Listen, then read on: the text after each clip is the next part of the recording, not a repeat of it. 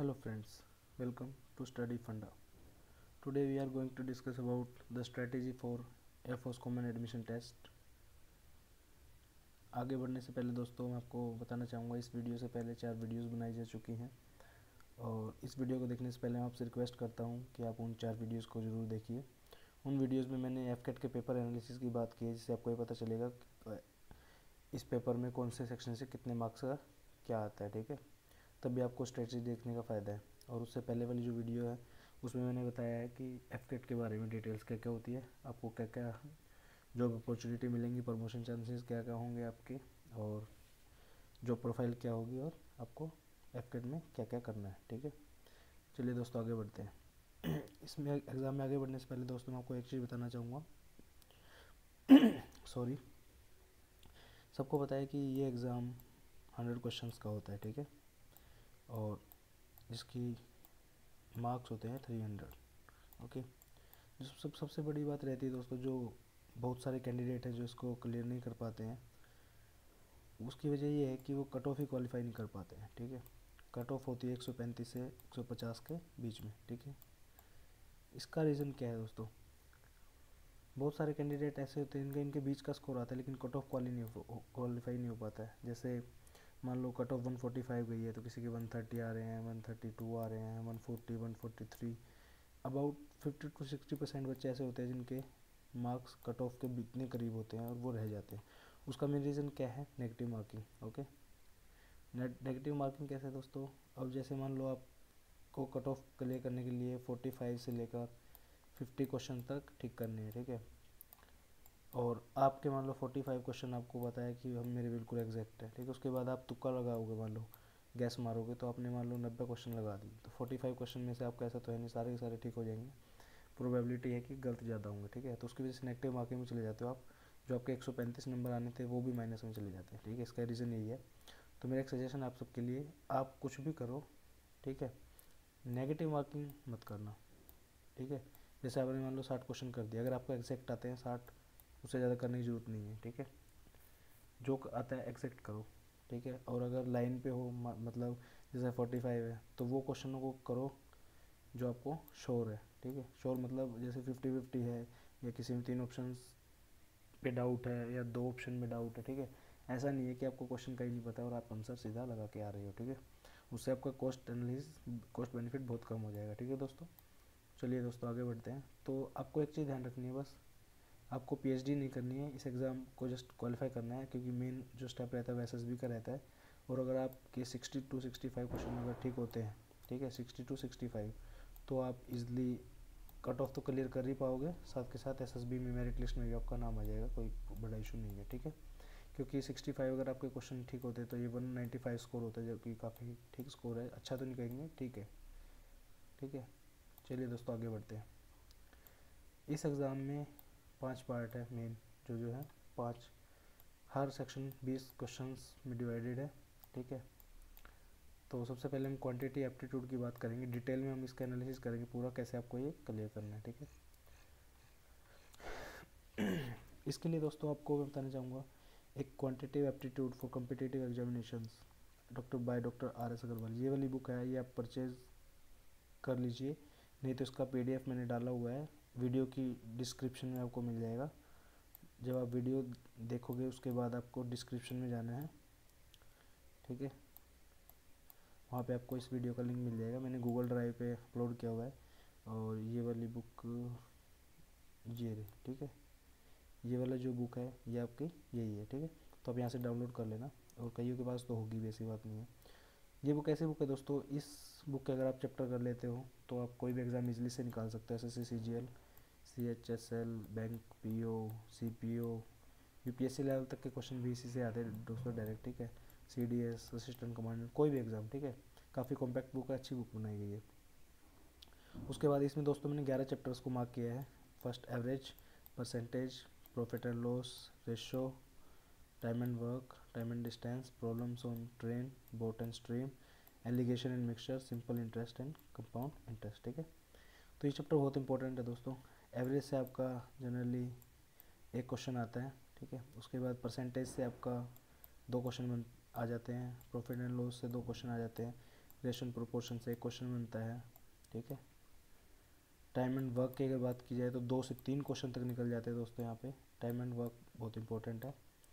Time and distance फिर वही एक क्वेश्चन ट्रेन वाला एक क्वेश्चन ठीक है?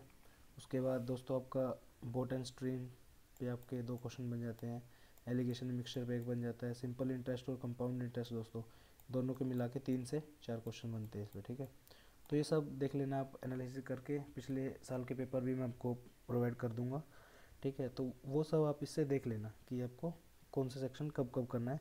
और इसमें पंद्रह दिन से ज़्यादा दोस्तों टाइम नहीं लगना चाहिए, ठीक है? पंद्रह दिन काफ़ी ज़्यादा है।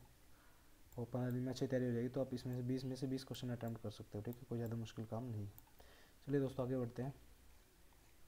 अगला जो हमारा पार्ट आता है, वो होता है रीजनिंग का, ठीक है? रीजनिंग दो पार्ट्स में डिवाइडेड है वर्बल एंड नॉन वर्बल बीस नंबर की दोस्तों वर्बल रीजनिंग आती है हमारी, और बीस नंबर की नॉन वर्बल आती है। रीजनिंग हम वर्बल और नॉन वर्बल दो बुक से करेंगे, जो कि मैं आपको मेंशन करने जा रहा हूँ। ये वाली book modern approach to verbal reasoning doctor R S Agarwal ये वाली आपको दोस्तों फ्री में मिल जाएगी। ये रही ये बुक इधर से आप डाउनलोड कर लेना, लिंक मैं इसकी डिस्क्रिप्शन में डाल दूँगा वीडियो की, वहाँ से आप देख लेना, ठीक है? इसमें दोस्तों पाँच पार्टों में डिवाइडेड है, ये ये देखिए, ठीक है? पहला पार्ट है एनालॉगी ये आपको करना है इस बुक से। सिनोनियम एंटोनियम दोनों जो है इंग्लिश के पार्ट हैं, ठीक है? इसके हम इंग्लिश में डिस्कस करेंगे इसके बारे में। और ओड वन आउट ठीक है दोस्तों? ये दो जो पार्ट हैं एनालॉगी और ओड वन आउट ये आपको इसी बुक से करने हैं, ठीक है? और इंग्लिश में भी आपको अगर सिनोनियम एंटोनियम करने हैं तो आप इससे करोगे तो काफ़ी बेनिफिट मिलेगा। एनालॉगी के दोस्तों 25 पेज हैं। 25 पेज में हार्डली आपको एक से डेढ़ घंटा लगेगा, आसान है काफ़ी। ठीक है? ओड वन आउट भी बारह तेरह पेज हैं, ये भी देख लेना। उसके बाद दोस्तों, इसमें कॉम्प्रीहेंशन दिया गया है। कॉम्प्रीहेंशन आप एक एक कॉम्प्रीहेंशन मत करना। जस्ट एक आइडिया ले लेना, वहाँ से इसमें बताया गया कि हाउ टू सोल्व कॉम्प्रीहेंशन तो वहाँ से आप देख लेना कि उसको कैसे सोल्व करते हैं और एक दो कॉम्प्रीहेंशन आप प्रैक्टिस करके देख सकते हो, ठीक है? तो यहाँ पे एग्जांपल दिया गया है। एनालॉगी के हैं, पहले एग्जांपल ये फ़र्स्ट थ्री एग्जांपल जैसे इन्होंने दिया है मून सैटेलाइट अर्थ ठीक है? जो मून है, वो एक सैटेलाइट है अर्थ क्या है? सिर्फ़ सबको पता है अर्थ एक प्लेनेट है, ठीक है? उसके वजह से मुस्लिम मॉस्क्यू सिख जो मुस्लिम होते हैं, वो मॉस्क्यू में जाते हैं, मस्जिद में जाते हैं सिख कहाँ पे जाते हैं? ऑब्वियसली ये गुरुद्वारे में जाते हैं, ठीक है? उसके बाद है, जैसे कार है, कार को कहाँ खड़ा करते हैं? गैराज में? एरोप्लेन का कहाँ खड़ा करते हैं? हैंगर में. ये क्वेश्चन बहुत इंपॉर्टेंट है दोस्तों कई बार आ जाता है। पहले भी आया आया हुआ है। इस क्वेश्चन को थोड़ा देख लेना आप, ठीक है? उसके बाद एनालॉगी के बाद ओड वन आउट है। मतलब आपके पास चार ऑप्शन होंगे, उसमें तीन ऑप्शन बिल्कुल सेम होंगे। एक ऑप्शन आपका अलग होगा, आपको वो चूज़ करना है, ठीक है? इसमें जैसे दिन में दिया गया कमांडर कोमोडोर ब्रिगेडियर और एडमिरल तो दोस्तों, जो ए बी और डी ऑप्शन है, ये तीनों हमारे इंडियन नेवी से रिलेटेड है और ब्रिगेडियर ये ओड वन आउट है, ठीक है? उसके बाद है, जैसे चाइना बीजिंग उसके बाद Russia, Moscow, Japan, Singapore and Spain Madrid, ठीक है? चाइना की कैपिटल बीजिंग है, रशिया की मॉस्को है, स्पेन की माद्रिद है, जापान की कैपिटल टोक्यो है दोस्तों, सिंगापुर खुद एक कंट्री है, उसकी कैपिटल भी सिंगापुर ही है। दोस्तों एक चीज़ और बताना चाहूँगा, अगर कोई भी आप कंपटीशन के एग्ज़ाम की तैयारी करते हो आप तो आपको मैप्स का पता होना बहुत ज़रूरी है, ठीक है? ये तो बहुत बेसिक सा मैप है, ये तो एशिया का है। आपको और मैप्स भी अगर आपको सीखने हैं तो मेरे चैनल पे आप जाइए। वहाँ पे एवरीथिंग अबाउट वर्ल्ड मैप्स के नाम से आपको वो मिल जाएगा। क्या बोलते हैं वीडियोस हैं, कई सारी, पाँच छः हैं, वो देख लेने। उनमें काफ़ी अच्छे ढंग से मैंने समझाया हुआ है कि वर्ल्ड मैप को कैसे करते हैं। और वो बहुत बेनिफिशियरी होंगे क्योंकि जब भी आप कोई न्यूज़ पढ़ते हो या कोई इवेंट आपका करंट इवेंट आता है तो आपको उसे, उस, उन चीज़ों को रटने की ज़रूरत नहीं पड़ेगी। आपके माइंड में डायरेक्ट सेव हो जाएगा कि इस लोकेशन पे ये कंट्री और यहाँ पे ये चीज़ हुई है, ठीक है? लाइक अभी रिसेंटली जैसे सऊदी अरेबिया में ने इस पे सॉरी सऊदी अरेबिया ने यमन पे अटैक किया था। तो आपको यही नहीं पता होगा सऊदी अरेबिया और यमन होगा कहाँ तो आप उस चीज़ को रटोगे। लेकिन आपके माइंड में जब ये होगा ना कि सऊदी अरेबिया इस जगह पे है यमन इस जगह पे तो आप डायरेक्ट उसको माइंड में सेट कर सकते हो उस न्यूज़ को, ठीक है? फॉर एग्जांपल जैसे हम सबको पता है हरियाणा, पंजाब, दिल्ली कहाँ पे है तो हम कोई भी न्यूज़ होगी दिल्ली की तो हम डायरेक्ट मन में जाएँगे और वहाँ पे माइंड में सेव कर लेंगे कि ये न्यूज़ दिल्ली की है, ठीक है? तो ऐसे देख लेना आपको अगर वो अच्छी लगे तो देख सकते हो आप। उसके बाद दोस्तों हम बात करते हैं रीजनिंग की, ठीक है? ये पूरा पार्ट मैंने बताया था, चालीस नंबर का आएगा इसमें से रीजनिंग वर्बल और नॉन वर्बल वो तो आपको करनी करनी है और ये बुक भी करनी है, ठीक है? ये बुक देख लेना दोस्तों modern approach to verbal and non verbal reasoning by doctor S Agarwal इसका पी भी मैंने प्रोवाइड किया दोस्तों, ये वाला, इधर, ये ये वाला।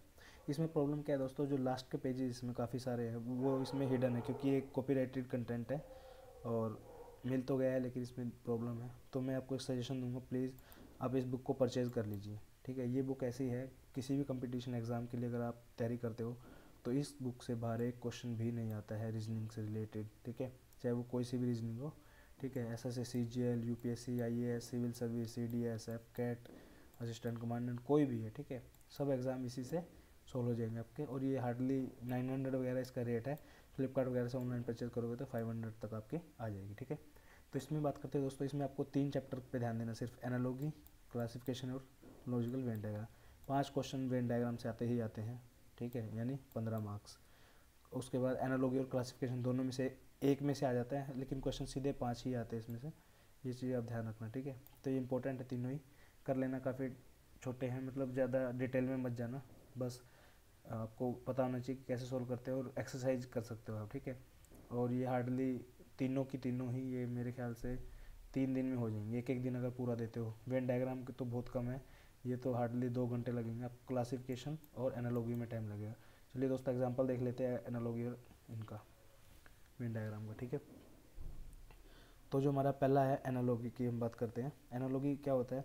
जैसे आपको दो चीज़ें दी मिलेंगी। जैसे फ़र्स्ट ये है ये दूसरे का बताना है कि इसके आगे क्या आएगा। लाइक फ्रूट बनाना।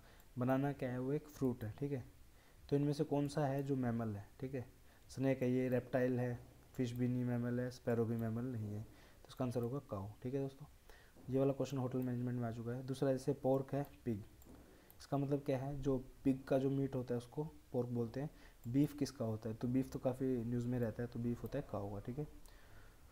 उसके बाद दोस्तों क्लासिफिकेशन का क्वेश्चन है, जैसे क्लासिफिकेशन में क्या होगा, आपको ऑप्शन दिए मिलेंगे अलग अलग ठीक है? उनमें से आपको क्या करना है, ये ओड वन आउट की तरह ही होता है।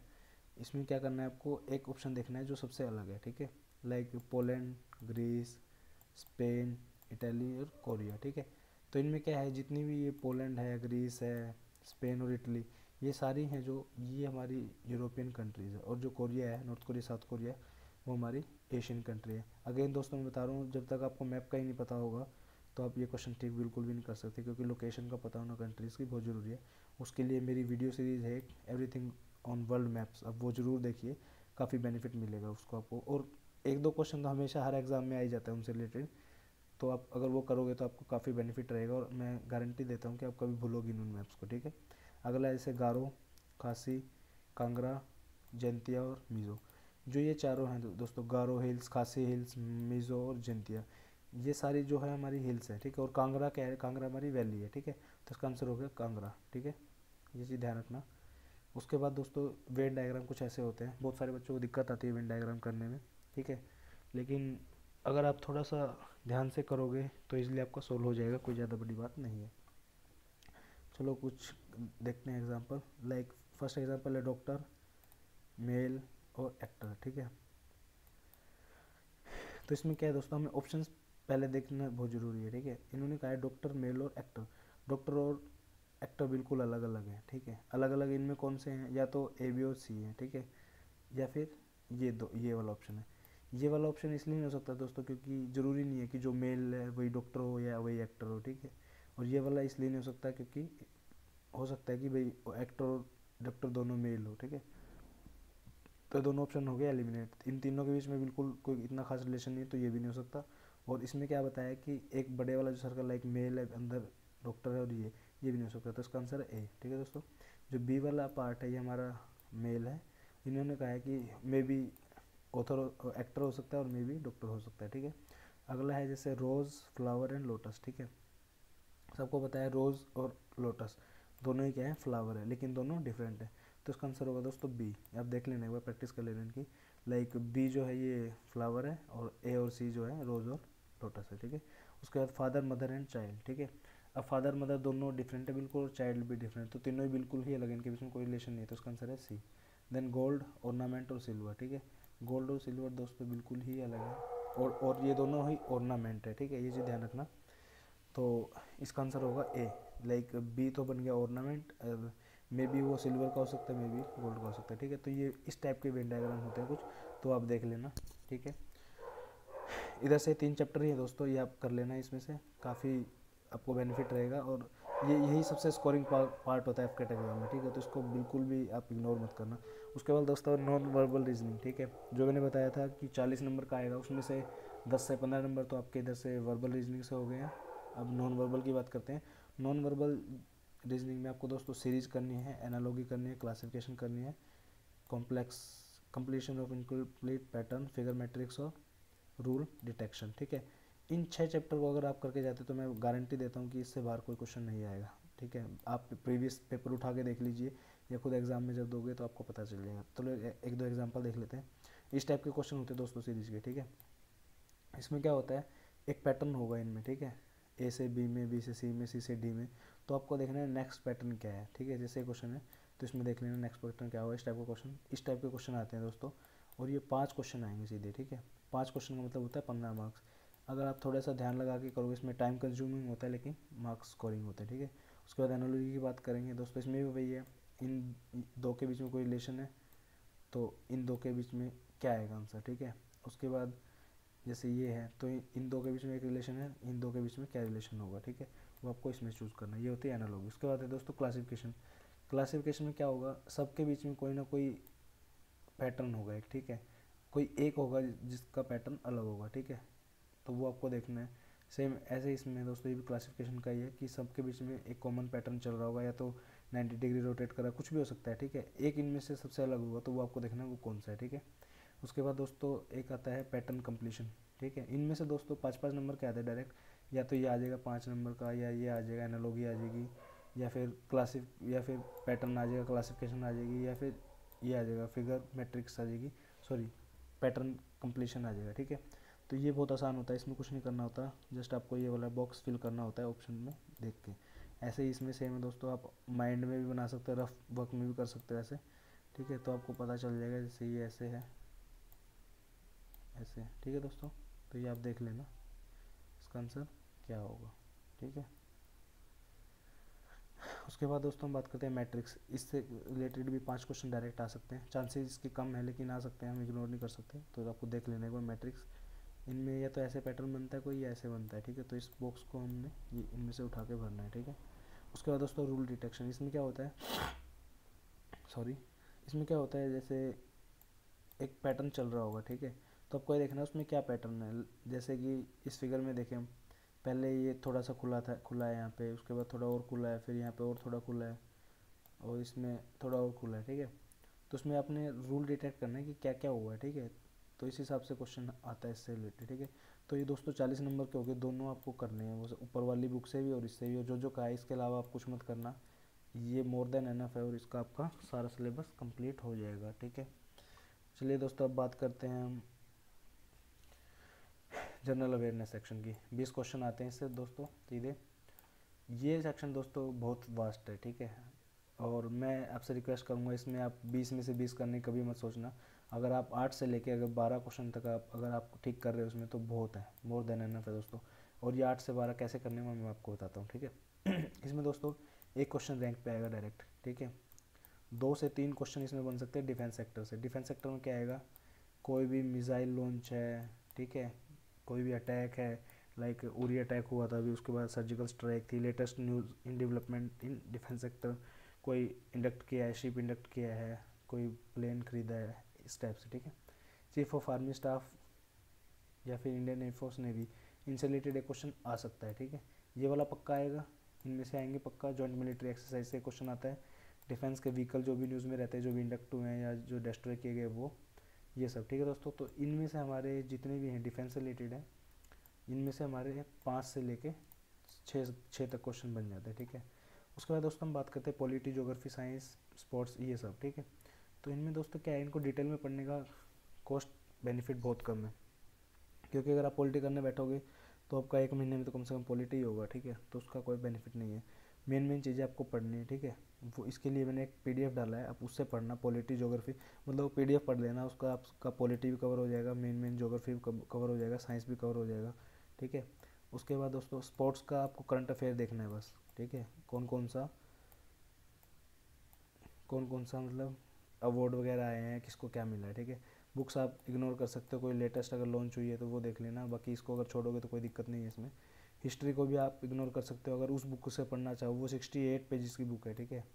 पीडीएफ है, ये देखिए, ये वाला, जो ये वाला पीडीएफ है, ये सिक्सटी एट पेजेस का है ये वाला, और ये दोनों मिला के, हार्डली अस्सी पेज बनेंगे दोनों मिला के, इनमें से आप देख लेना। मैं गारंटी देता हूँ दोस्तों, ज़्यादा नहीं तो कम से कम पाँच छः क्वेश्चन इससे बड़े प्यार से निकल जाएँगे, ठीक है? उसके बाद दोस्तों, हिस्ट्री वैसे आप इग्नोर कर सकते हो, अवार्ड का दोस्तों एक क्वेश्चन आएगा, इसको इग्नोर कर सकते हो आप। उसके बाद ये ज़रूर पढ़ लेना दोस्तों किसका हेडक्वार्टर कहाँ पे है, इसके अलावा कुछ मत पढ़ना। या फिर इनकी फॉर्मेशन कब हुई थी? बस हेडक्वार्टर और ये। जनरली क्वेश्चन जैसे आता है इसमें A D B Asian development bank का हेडक्वार्टर कहाँ पे है और ये कहाँ बना था, ठीक है? इस टाइप का क्वेश्चन आ जाएगा। ये लाइक यूनिसेफ का आ जाएगा, ये आ जाएगा और एक डे का आता है दोस्तों सर, ठीक है? डेज़ भी आप याद कर लेना important important days days like environment day science day ये इस टाइप में, ठीक है? तो इससे आपकी जीके कवर हो जाएगी। तो ये ये ध्यान रखना बस आप, ज़्यादा टाइम वेस्ट इसमें ना करें। इसके बजाय मैं कहूँगा दोस्तों आपको रीजनिंग पे ध्यान दें मैथ्स पे ध्यान दें और इंग्लिश पे ध्यान दें, ठीक है? अगर वो तीन पार्ट आपके स्ट्रॉन्ग है तो जी के आप, से आपके पाँच छः क्वेश्चन भी निकलते हैं तो कोई दिक्कत नहीं है, ठीक है? अवॉइड नेगेटिव मार्किंग दोबारा से कह रहा हूँ नेगेटिव मार्किंग बिल्कुल मत करना, ठीक है? इसके लिए आप अगर बुक खरीदना चाहते हो तो ये बुक है, दिशा पब्लिकेशन की जनरल नॉलेज जिसका पीडीएफ नहीं है, आप खरीद सकते हो तो खरीद लेना वन ट्वेंटी रुपीज़ की है ये, ठीक है? इतने तो खर्च सकते हैं, ठीक है? वन फिफ्टी प्राइजेस का वन ट्वेंटी तक आपको मिल जाएगी, ठीक है? और अगर आप ये नहीं खरीदना चाहते तो ये दो बुक कर लेना मोर देन एनफ है, हो जाएगा इनसे, ठीक है? बाकी जिसको ये लगता है कि भाई मुझे ज़्यादा स्कोर करना है तो ये बुक से आप पढ़ सकते हो, ठीक है? काफ़ी कॉम्पैक्ट बुक है। उसके बाद बात करते हैं दोस्तों लास्ट सेक्शन है इंग्लिश सेक्शन ठीक है? ये भी बहुत इंपॉर्टेंट है, बीस नंबर का इससे आता है। इंग्लिश को आप कभी इग्नोर मत करना, क्योंकि बहुत सारे कैंडिडेट ऐसे होते हैं, इनका मैथ भी अच्छा होता है जीके में भी निकाल लेते हैं ठीक ठाक क्वेश्चन रीजनिंग भी अच्छी होती है, लेकिन वो इंग्लिश में मार खा जाते हैं स्पेशली इन दो चीज़ों में सिनोनियम और एंटोनियम ठीक है? ये हर बार आते ही आते हैं और आठ नंबर के आते हैं। चार नंबर के सिनोनियम चार नंबर के एंटोनियम ठीक है दोस्तों? इनके लिए दोस्तों मैंने एक तो वो ऊपर जो बुक बताई थी, आपको वो देखनी है, ये वाली, ठीक है? ये वाली बुक इसमें क्या है? सिनोनियम और एंटोनियम ठीक है? कुछ चालीस पचास पेज सिनोनियम के हैं और चालीस पेज एंटोनियम के हैं। डरो मत दोस्तों, ये ज़्यादा एक एक पेज पे हार्डली दस दस पंद्रह पंद्रह सिनोनियम एंटोनियम बस, ठीक है? तो यहाँ से आप सारे एक बार उठा के देख लेना है वो कर लेना इसको अच्छे से, ठीक है? उसके बाद एंटोनियम भी हो जाएँगे उससे। उसके बाद भी अगर आपको लगता है कि एंटोनियम, सिनोनियम कम हुए तो मैंने यहाँ पे दो पीडीएफ डाले हैं, दोस्तों, ठीक है? एक तो ये है पाँच सौ एक, सिनोनियम, एंटोनियम। प्रैक्टिस के लिए ये दिशा पब्लिकेशन का एंटोनियम सीरीज़ है, दिशा की सिनोनियम सीरीज़ है। उसके बाद ऑब्जेक्टिव जनरल नॉलेज की बुक डाली आर एस अग्रवाल की। इसमें सब है दोस्तों, इसमें से आप देख लेना, आपको जो जो अच्छा लगे वो कर लेना, ठीक है? उसके बाद दोस्तों फ्लिंग इन द ब्लैंक इसमें कुछ भी आ सकता है दोस्तों प्रीपोजिशन भरना वर्ब भरना नाउन प्रोनाउन ये सब, ठीक है? तो इसकी स्पेसिफिक कोई ऐसी वो नहीं है जनरल सेंस के क्वेश्चन आते हैं, वो देख लेना आप ये। पैसेज का दोस्तों, वो ऊपर मैंने बताया था कॉम्प्रिहेंशन में देख लेना, ठीक है? उसे और ऑनलाइन पैसेज के एक दो देख के तैयारी कर लेना, ठीक है? ईडीएम और फ्रेजेस के लिए दोस्तों, मैंने एक बुक डाली है इसमें। सॉरी इसमें नहीं है वो बुक एप्लीकेशन सॉरी वो ईडीएम फ्रेज के लिए एक एप्लीकेशन है। वो जिसकी मैं आगे बात करूँगा, ठीक है? वो आप देख लेना। इससे आपके सारे सेक्शन कवर हो जाएँगे। इनको मत इग्नोर करना दोस्तों। ये जितनी ज़्यादा प्रैक्टिस करोगे, उतना अच्छा है और हो भी जाएँगे। आठ नंबर यहाँ से आपके स्कोर हो जाएँगे और पैसेज और ये जनरली आसान से ही होते तो पाँच, छः, सात नंबर इसमें से आपके आ जाएँगे, ठीक है दोस्तों? ये पूरी थी इस पेपर के लिए स्ट्रेटेजी आपको किस सेक्शन से कितना क्या करना है, देख लेना आप। एक चीज़ ध्यान रखना आप, कुछ ज़्यादा पीएचडी करने की ज़रूरत नहीं आपको। साठ से लेके अगर पैंसठ नंबर तक आपके आते हैं ठीक है? साठ से अगर पैंसठ नंबर आपके आते हैं तो आप स्कोर इजली कर सकते हो, ठीक है दोस्तों? उसके बाद ये एप्लीकेशन बता देता हूँ दोस्तों, ये एप्लीकेशन डाउनलोड कर लेना S S C synonym antonym A S O twenty five words one word substitute bilingual और अड्डा ट्वेंटी फोर सेवन इनकी अलग वीडियो दोस्तों मैं बना दूँगा, आपको इनको यूज़ कैसे करना है, तब तक आप इनको डाउनलोड कर लीजिए, ठीक है दोस्तों? Thank you thank you so much watching this video अगर आपको कोई कमेंट अगर आपका कोई सजेशन है कोई क्वेरी है तो आप कमेंट सेक्शन में कीजिए, मैं आपका रिप्लाई बहुत जल्दी देने की कोशिश करूँगा, ठीक है दोस्तों? अगर आपको वीडियो पसंद आया हो और अगर आप चाहते हैं कि मैं फ्यूचर में भी एफ़ से रिलेटेड वीडियोस बनाऊँ, जो कि मुझे जनवरी में बनानी पड़ेंगी, क्योंकि आगे आपके एग्ज़ाम के लिए प्रैक्टिस सेट डालेंगे तो उससे रिलेटेड अगर वीडियो चाहते हो तो प्लीज़ हमारी वीडियो को लाइक कीजिए शेयर कीजिए हमारी वीडियो को और सब्सक्राइब कीजिए हमारे चैनल पे, ठीक है? आपका बहुत बहुत धन्यवाद इस वीडियो को देखने के लिए thank you thank you so much watching this video